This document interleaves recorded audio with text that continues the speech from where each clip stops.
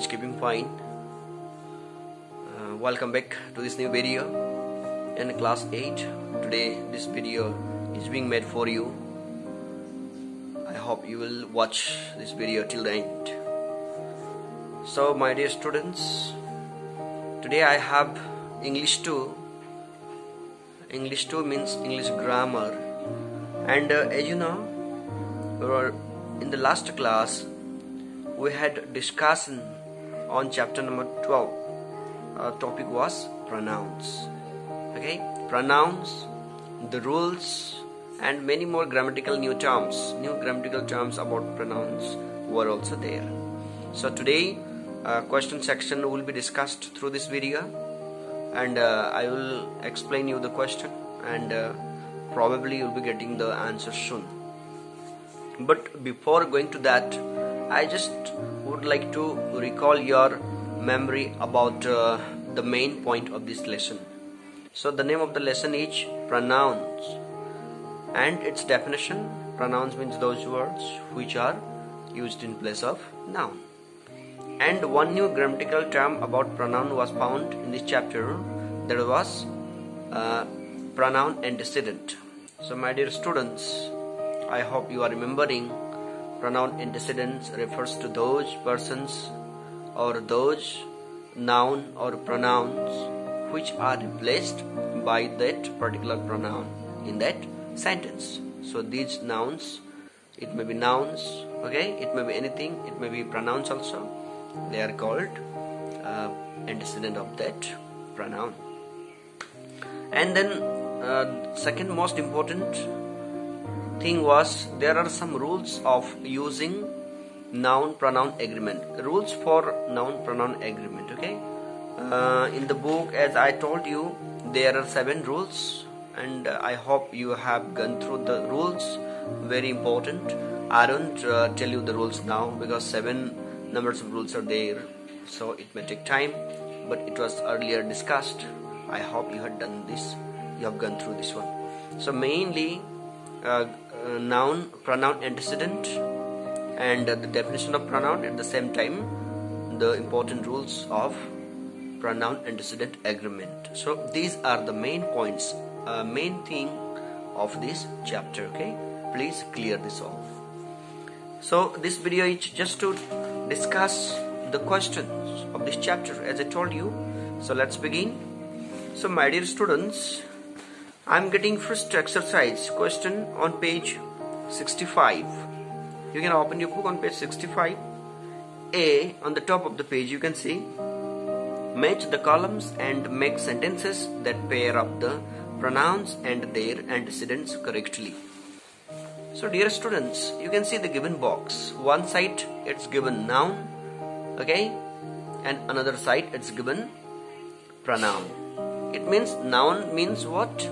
Antecedents of that pronoun. So we have to match that correctly, okay. First is given that the boy said that. So the correct option of this one, okay, the boy said that will be uh, serial number D, uh, this alphabet number D.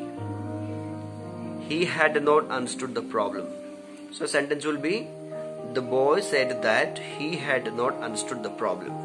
And in this sentence, antecedent is the boy and pronoun is he.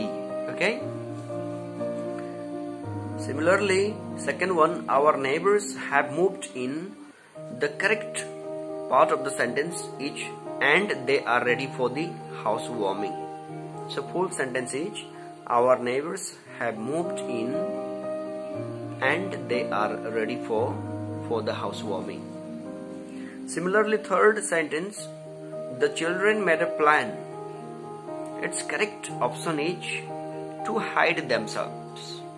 The children uh, made a plan to hide themselves. And the next fourth one everybody wants to succeed but correct one is they do not want to go through any pain anybody wants to succeed but they do not want to go through any pain this is full sentence sentence number 5 remember not to cheat as correct is it will lead to cancellation of the paper. This is the full sentence. And the final sentence 6 1 one boy confessed that correct age he was planning to sneak out. So this is the full sentence. So in the first exercise a match the following antecedent and pronoun. There are six sentences okay one side antecedents and another side each another side it's given pronoun so we have to match them correctly. So it has already been done. And dear students don't worry. I'm just explaining you what to do with that given questions. You will get uh, the written PDF format of the same also. So please don't worry. And just try to understand. And after that exercise B it's on page 67 it's on page 67 you check Connect each underlined pronoun with its antecedent with an arrow. The first one has been done for you. You can see in the book, my dear students, it has already been done. One has been done for you. You can just see what to do. You are just asked to connect each underlined pronoun with its antecedent with an arrow. You see? So, here pronouns are underlined and you have to find out the antecedent of that pronoun so antecedent means what? What is the antecedent? It means the particular word which is replaced by the given pronoun. That is why I told you to clear the definition of uh, pronoun antecedent. Okay? Very important.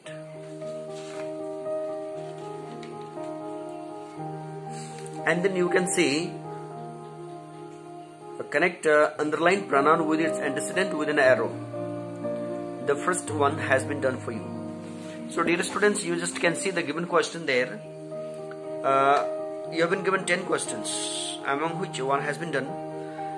Just you check the underlined pronoun and underlined pronoun and uh, you just connect with its antecedent okay this is very very easy task you can do so as I told you, this you have to connect the given pronouns with its antecedent, okay?